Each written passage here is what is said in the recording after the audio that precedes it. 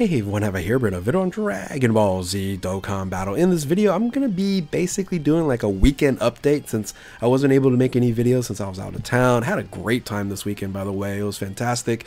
Um, but just coming back to recording some videos, I figured I'd cover some of the items that uh, had come out over the past weekend. So with that, if you're new to my channel, like, subscribe, comment below, do all that good stuff let's go ahead and dive right in. So I think the first thing I should be discussing is the upcoming Daima celebration. Um, so of course, this information dropped out I think in the you know early mornings of um, of Saturday, and I was already either asleep or getting ready for going out of town. But uh, of course, we ended up getting the previews for the new Daima characters on here, and uh, as you can see here, we are be getting a Goku, and we're actually be getting a Vegeta here as well. Uh, a little bit, of course, disrespect as usual for Vegeta. Uh, Goku being pinned uh, as the comment here, and then Vegeta just, you know, uh, hanging out down here. But um, as I predicted in my timeline video, if you guys want to check that out, feel free to check that out there. We were going to get at least this Goku right here and uh, makes a lot of sense. This was a part of the um, the, the campaign and promotional materials, so um, not a surprise we, we ended up uh, getting this unit here as the free to play. However, these are the SRs, so we're getting SRs that awaken into an SSR uh, for both Goku and Vegeta, which is very interesting. I assume that this, of course, TUR into maybe like a Super Saiyan and then possibly LR if there's any future transformations in Daima, uh, but we'll see uh, as the story progresses in that series. Um, now, I think uh, plenty of people have already covered this. The the hugest benefit that we got from the information on this preview here is the name of these units. Right? They have the parentheses.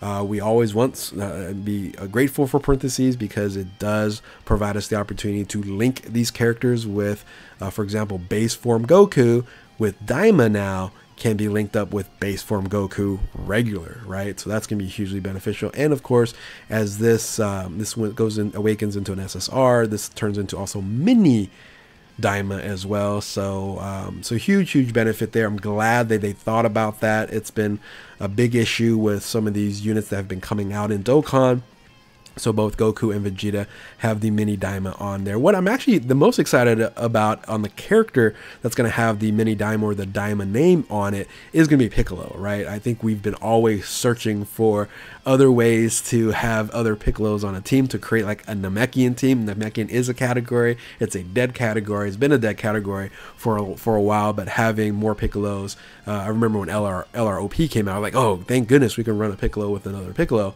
Um, so I'm looking for like a super piccolo, but now we have a mini and a Daima piccolo, or we assume that we can have one of those uh, in the future. So that's exciting uh, to say the least. So anyway, that's pretty much Daima there. Again, uh, this is the campaign saying mid October. I, I I think we're gonna get that at least these characters probably the next couple days. The um, the series premieres on the 11th. That's in Japan, so it's the 10th for us here. It we can possibly get these units on the 9th, which is only a couple days from I'm recording this video here. So it makes a lot of sense for them to go ahead and do that. Um, so campaign again scheduled in mid-October, and I guess the 10th, 11th is close enough to mid-October. Uh, so that should be uh, going on concurrently with the current um, Vegeta campaign, the Dirty Fireworks campaign as well. Now, uh, another portion of this, they did talk about the um, implementation of the new uh, Pettan battle, which is crazy. It's the it's the series pack 18, but it's say the 35th Pettan battle. So, um, of course, we have multiple Pettan battles as series packs come out, but uh, pretty wild. There's been that many Pettan battles. So, uh, Pettan battles is uh, I would say some people like it, some people don't. Uh, I don't really mind it.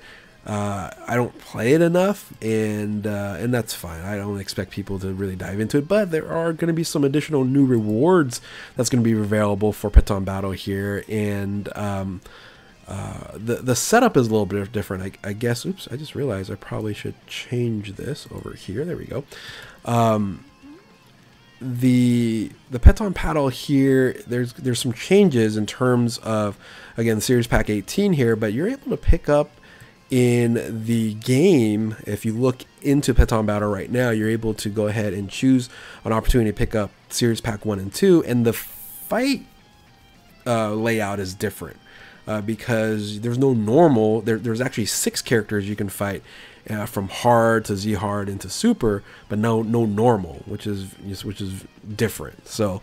Um, so now these new sticker cards you're able to go ahead and pick up, and these new Baba sticker cards that you can pick up, um, you know, uh, other rewards like Dragon Stones, Lake Orbs, things of that nature. I'll go ahead and jump into that right now. So these are the new Baba sticker cards, and these Baba sticker cards, again, running basically forever. Um, so you can just go ahead and keep these. You don't have to spend it on these type of rewards if you don't want to, but you can get Dragon Stones. Of course, this is going to be something everyone's going to grab, the, the five Dragon Stones here. I would have liked to see this a little bit higher, a little bit more for people that are going to grind this uh, even much more so. And the price is 20, so you should be able to get uh, this fairly easily. Um, you know, and these keys here are going to be available for you as well, which is nice. These keys are, you know, a lot of them could be valuable here. We have some Sleepy Kais and Elder Kais. Now, this is where it's going to get a little bit more pricey 120, 180.